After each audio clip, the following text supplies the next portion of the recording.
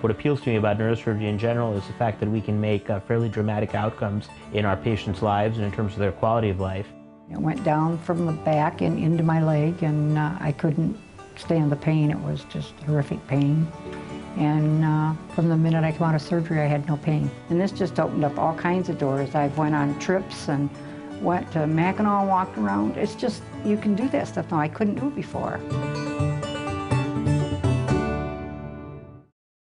Suffering from chronic neck or back pain, in many cases it can be effectively treated without surgery.